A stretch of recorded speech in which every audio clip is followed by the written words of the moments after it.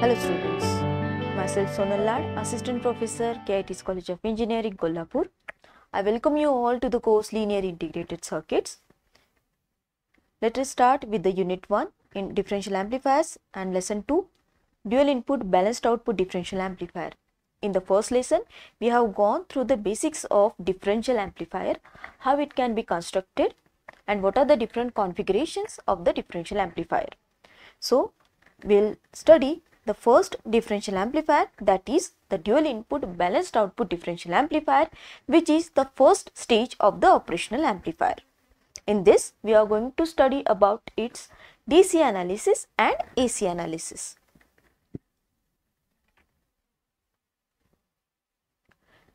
Now what is DC analysis? A DC analysis is nothing but study and analysis of the circuit's behavior under direct current conditions that is DC conditions. Now why it is important? It helps us to understand the biasing of the transistor and ensures the proper operation in the desired operating region. As we have already studied in the last session that in order to use the transistor as an amplifier, it has to be operated in the active region. I would like to ask you one question here. What is Q point of the transistor amplifier? You can pause this video and come back with the answers.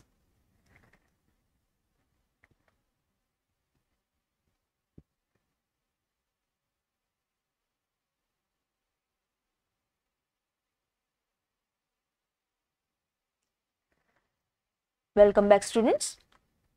I had asked you a question that what is Q point of the transistor amplifier? The Q point of the transistor amplifier is also called as the biasing point of the transistor. Now, this Q point is determined in order to ensure that the transistor operates in its active region because we are using the transistor as an amplifier and we know that the transistor has to be operated in the active region then this Q point gives us the idea about where the exactly transistor operates. The Q point is determined with the help of collector to emitter voltage that is called as VCE and collector current IC. So these two points that is VCE and IC are collectively called as the Q point which ensures the stable operating of the transistor as an amplifier. So now let us start with the DC analysis of this dual input balanced output differential amplifier. Now we have already constructed a differential amplifier with the help of two emitter biased circuits. Now in order to perform the DC analysis, we need to do certain changes in that configuration. Now in DC analysis, our aim is to determine the operating point of the transistor that is VCE and IC. Okay. Now let us start with the DC analysis. Now, as I told you, there are certain changes that have to be done in the basic configuration of the dual input balanced output differential amplifier. Now, what is that change that we have to do?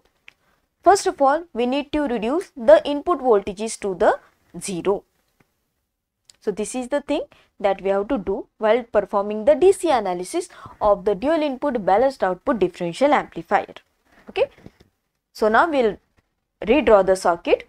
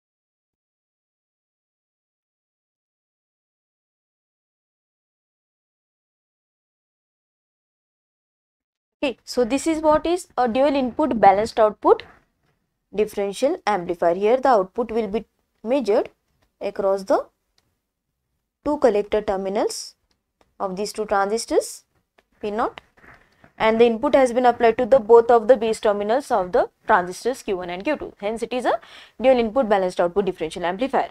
Now in order to, to perform the DC analysis that is in order to calculate the collector current and emit collector to emitter voltage what we are supposed to do? We have to reduce the input voltages to 0. So this is the thing that we have to do for this circuit. Now we will draw the circuit with this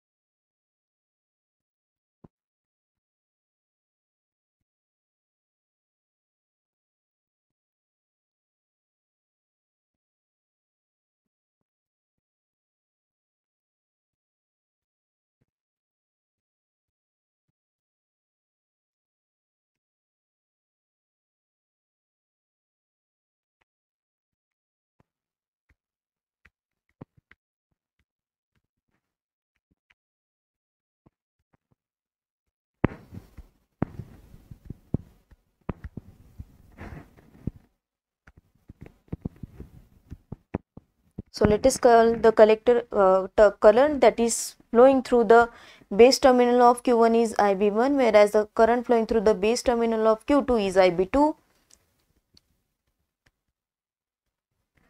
So R in 1 and R in 2 are nothing but the source resistances. Here the source voltages have been reduced to 0. V in 1 equals to 0 and V in 2 also equal to 0. Okay.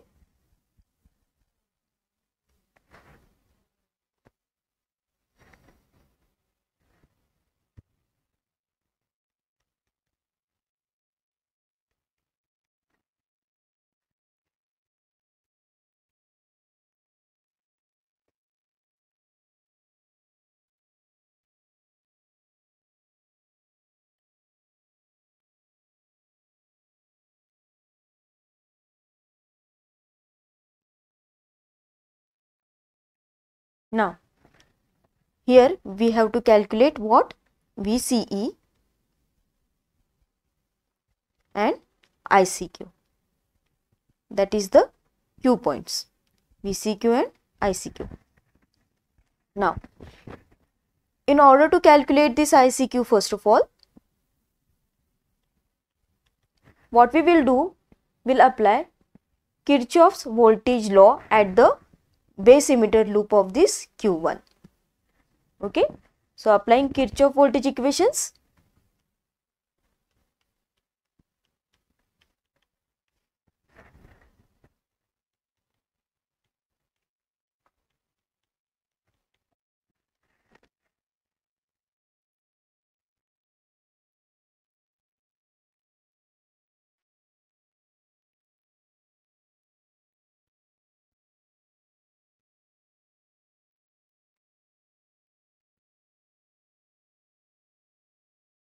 Since we have taken the matched pair of transistors, we don't have to do another analysis for Q2. Whatever the analysis will do for Q1, it will remain same for the Q2.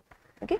Now, here we'll use the sign convention from positive to negative as a negative one. So, here if we start from this, the voltage drop across this R1, R in 1 will be equal to IB1 into R in 1. So, it is minus of R in 1 into IB1 minus the voltage that has been developed across the base emitter terminal that is VBE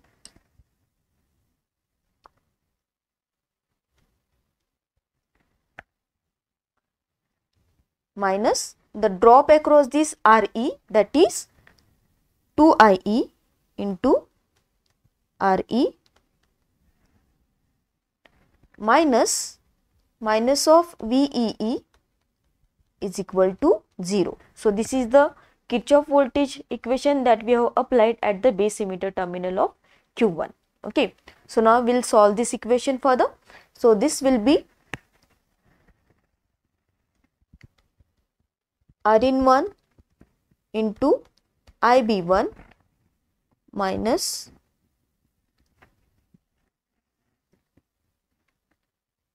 two IE into RE minus VBE plus VEE is equal to 0.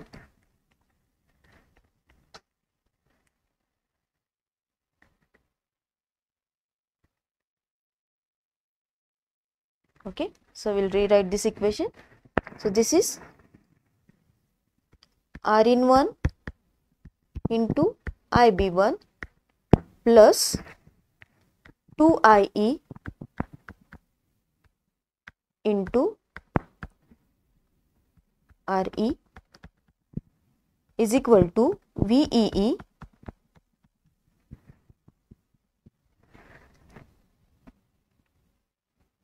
minus VBE.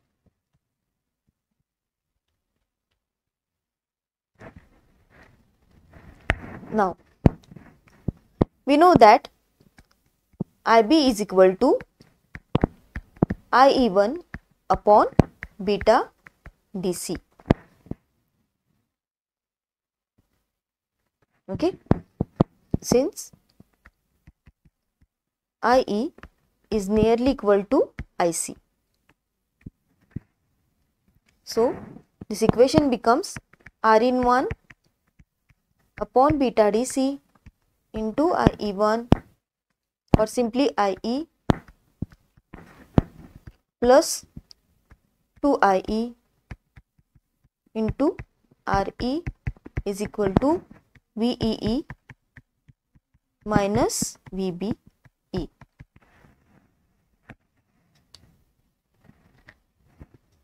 Okay. Now, what we want is IE. Therefore, IE is equal to VEE minus VBE divided by R in 1 upon beta DC plus 2RE.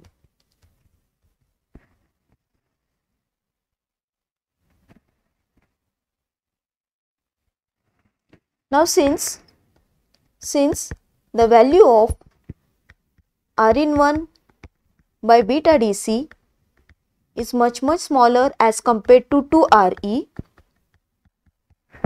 we will neglect this term. We should neglect R in 1 by beta DC. Therefore, the equation becomes IE is equal to VEE minus VBE divided by 2RE. So, this gives you the operating point IE which is nothing but equals to the collector current IC.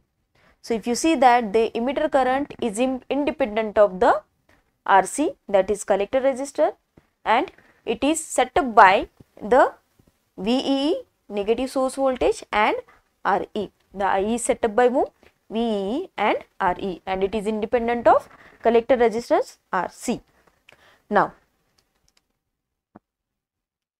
we have to determine VCE. Now, in order to determine VCE, VC is nothing but Vc minus V that is voltage available at the collector terminal minus voltage available at the emitter terminal. So, if you look at the configuration of this dual balance dual input balanced output differential amplifier, the voltage Vc is equal to Vcc minus ICRC and emitter voltage is equal to the minus of VBE. Now, why I have taken this as minus v, uh, minus of VB because VB is equal to VB minus VE. Here the base, volt, base voltage is 0 Therefore, V is equal to minus of VBE. So, that is why here V is equal to minus of VBE. Okay. Now, this is VCC plus VBE minus ICRC. So, this will give you the value of VCE. So, in this way we can take get the operating point VCQ and ICQ for the transistor. As we have discussed, the operating point helps us to ensure the transistor operates in the active region. So, this completes the DC analysis of dual input balanced output differential amplifier. In the next session, we will discuss about the AC analysis of dual input balanced output differential amplifier. Thank you.